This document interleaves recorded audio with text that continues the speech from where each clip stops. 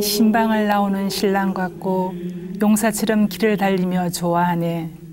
하늘 끝에서 나와 다시 하늘 끝으로 돌아가니 아무것도 그 열기 앞에서 숨을 수 없네. 참 예수님, 오늘은 10편 19편에 대해서 알아보도록 하겠습니다. 19편은 두 가지 유형이 결합되어 있습니다. 첫째 부분 2절에서 7절까지는 자연에 대한 찬양 시편이고 둘째 부분 8절에서 15절까지는 토라를 찬양하는 교훈 시편에 속합니다. 시편 19편을 두고 C.S. 루이스는 이렇게 말을 합니다. 19편은 모든 시편 가운데서 가장 위대하며 세상에서 가장 위대한 서정시라고 이렇게 표현을 했습니다. 19편의 시인은 먼저 하늘을 생각합니다. 그 화려한 장관이 어떻게 하느님의 영광을 드러내는지 말합니다. 그 다음에 해를 말합니다. 떠오르는 해에서 신랑의 기쁨을 봅니다. 그리고 그 해의 열기를 생각합니다. 아무것도 그 열기 앞에서 숨을 수가 없습니다. 그 강렬함이 모든 것을 깨뚫습니다.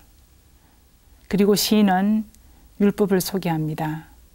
율법은 모든 것을 찾아내고 모든 것을 깨뚫는 태양과 같습니다.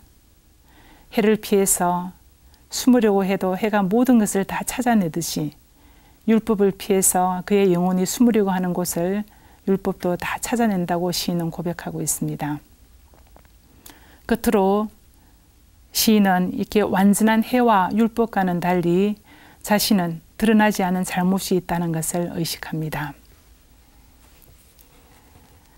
해는 모든 피조물 가운데 어뜸입니다. 해는 신방을 나오는 신랑 같고 용사처럼 길을 달리며 좋아하네. 6절입니다. 시인은 창조주와 피조물을 여기서 구분하고 있습니다. 태양을 중요한 신으로 숭배했던 고대인들의 신화적인 영향을 여기에서 볼 수가 있습니다. 구약 성경에서는 해를 하느님 손의 작품으로 봅니다. 그렇지만 메소포타미아에서는 태양신을 숭배를 하였습니다. 이스라엘 사람들은 태양을 어윤하는 시키지만 신격화는 시키지 않았습니다. 하느님의 뛰어난 피조물로서 피조물의 하나로서 태양은 매일 아침 어김없이 솟아나서 그 찬란한 아름다움과 힘을 드러내고 어두움과 카오스를 몰아내고 모든 것을 밝힙니다. 해는 어머니가 가지는 생명력의 이미지를 가지는 여성형입니다. 그러나 여기서는 남성형 용사와 함께 사용이 되고 있습니다. 해를 신방에 비유한 것은 신랑에 비유한 것은 떠오르는 그 태양의 화사하고 싱그럽고 우아한 모습을 그려줍니다.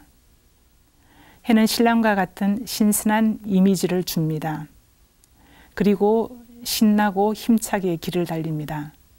이것은 태양이 하나님의 영광을 찬양하는 것을 나타냅니다. 시인은 율법을 찬양합니다. 율법이 인간에게 주는 효과는 생기를 돋게 하고 슬기롭게 하고 마음을 기쁘게 하고 눈에 빛을 주고 영혼이 이어지고 의롭게 하는 것입니다. 시편의 이 율법 체험은 율법주의와는 다른 것입니다.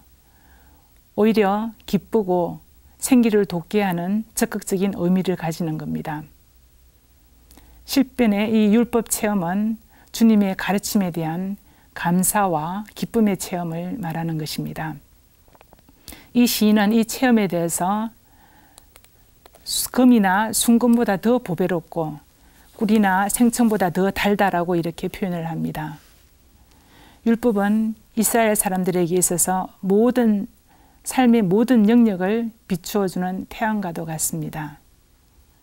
마치 태양이 빛을 비추어 주듯이 율법이 그들의 삶을 비추어 줍니다. 이스라엘에게 있어서 이 율법은 생기를 돋게 하고 모든 것을 드러나게 하는 심판관과도 같습니다. 율법은 완전하지만 시는 종으로서 자신의 부족함을 고백합니다.